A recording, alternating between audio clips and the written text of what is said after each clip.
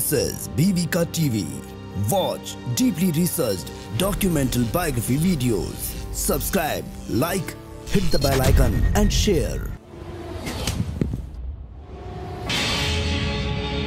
आज होगी मुलाकात एक ऐसे अभिनेता के साथ जो है तो मैकेनिकल इंजीनियर लेकिन वो बने अमिताभ बच्चन अमिताभ बच्चन सी है उनकी आवाज़ और चाल ढाल ही is none other than Shashikant Pedwal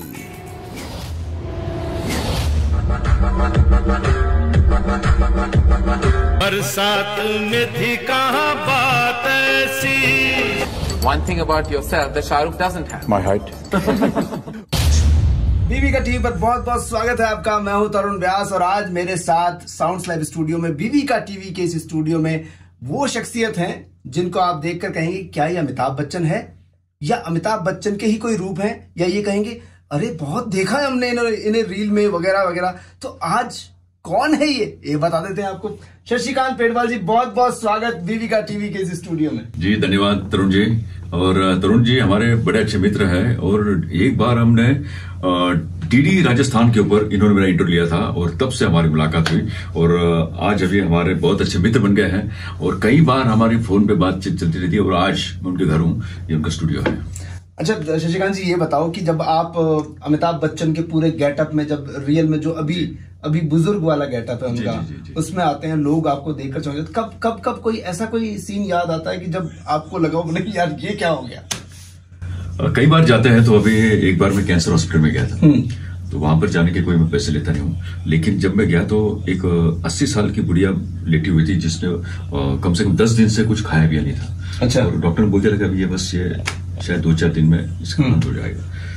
जब मैं मैंने डांस किया कि भाई मैं अभी डांस कर रहा हूँ और आपको भी मेरे साथ डांस करना है तो जो जो बुढ़िया जो आठ दस दिन से हिल भी नहीं रही थी तो वो अपने आप उठी और वो स्वयं बोतल लेके धीरे धीरे आ रही मेरे पास आ रही है। और डॉक्टर बोले यार ये कौन सी हम इसको गोली दे दे के थक गए। लेकिन ये आपके पास जैसे कौन सी गोली थी जो बच्चन साहब की आवाज़ सुन के वो यहाँ तक आ गई तो ऐसा भी हो जाता है। बहुत बढ़िया। मतलब आप जो काम कर रहे हैं वो बड़े काबिल तारीफ़ है। लोगों के चेहरे पर मुस्कान आ जाती है जब बच्चन साहब का नाम आता है। और बच्चन साहब मिलने पहुँच जाएँ तो ये बहुत बड़ी बात हो जाती है। और कोरोना टाइम में आपने बहुत लोगों को ठीक किया। है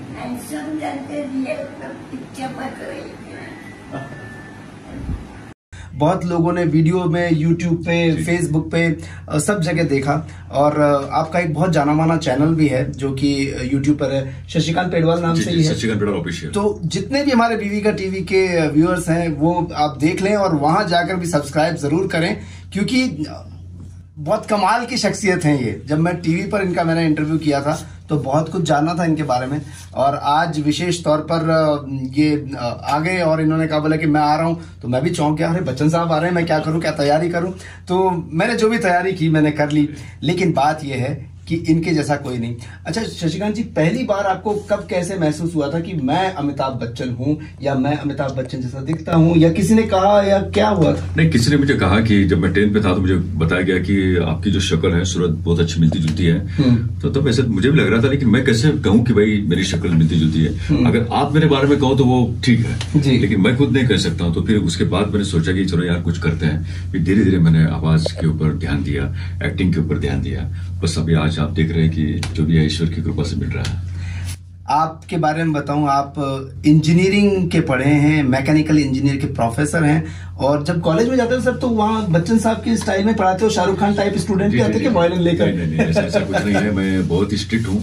बिल्कुल नारायण शंकर की तरह मैं हूँ। अच्छा। किसी के मजाल नहीं कि वो मुझे कुछ उल्टा सुल्टा पूछ ले। हम्म। और बिल्कुल कॉलेज में जाना है तो पढ़ाना है और मंच पे जाना है तो लोगों को हंसाना है। ये दोनों चीज़ें अलग अलग हैं और वो कभी एक नहीं हो सकती है। और एक डिमांड आपके लिए हर जगह लोग कहते हैं कि बच्चन साहब का फला डायलॉग सुनाइए या वो गीत सुनाइए सब जगह ये जी, जी, जी। और जब वो आप एक जो होता है बाउंसर्स के साथ एंट्री होती है तो लोग हिल जाते हैं और एक कोई आ गया। अच्छा वो फील बहुत अच्छा होता है। कोई एक डायलॉग या कोई एक चलो एक काम करते एक मधुशाला की एक पंक्ति आपको सुनाता हूँ। वाह। मदिरालय जाने को घर से चलता है पीने वाला।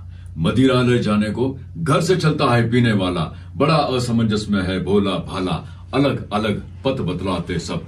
अलग अलग पद बतलाते सब। पर मैं ये बतलाता हूँ कि राह पकड़ तू एक चला चल राह पकड़ तू एक चला चल पा जाएगा मधुशाला पा जाएगा मधुशाला पा जाएगा बहुत बहुत धन्यवाद। थैंक यू आपकी जो ये मधुशाला है इसमें सब लोग डूब जाते हैं साहब। आप जी। आपकी जो एक्टिंग है या आपका बोलने का अंदाज है सब कुछ हूबहू वैसा ही है।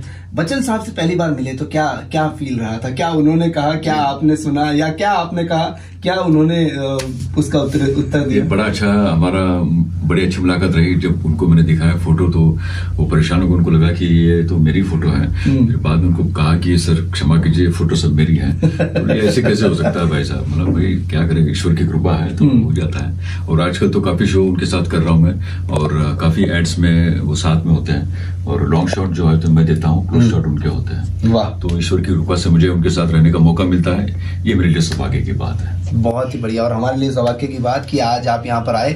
अब चलते चलते बहुत ही एक खास बात कि आप सब लोग बीवी का टीवी को सब्सक्राइब करें लाइक करें और शेयर करें। ऐसे ही हमारे मित्र आते रहते हैं मिलने के लिए। और जो आपके व्यूअर्स हैं उन्हें भी आप कुछ कह हाँ, बिल्कुल बिल्कुल। जो देवी और सज्जनों जो मेरे यूट्यूब चैनल पर देख रहे हैं तो आप भी इस चैनल को सब्सक्राइब कीजिएगा।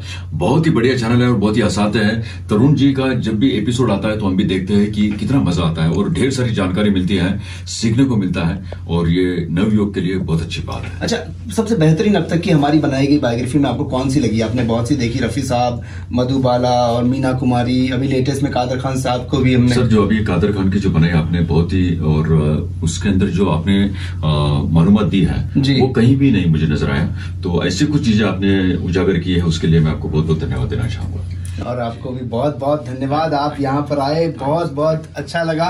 एंड ऐसे ही मिलते रहिए देखते रहिए। हम लोग एंटरटेनमेंट करने के लिए ही पैदा हुए हैं। एंटरटेन करते रहेंगे। Entertainment entertainment entertainment